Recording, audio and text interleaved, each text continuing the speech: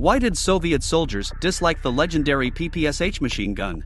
The soldiers affectionately called the Shpagin submachine gun daddy, as well as the weapon of victory and the best machine gun of the Second World War.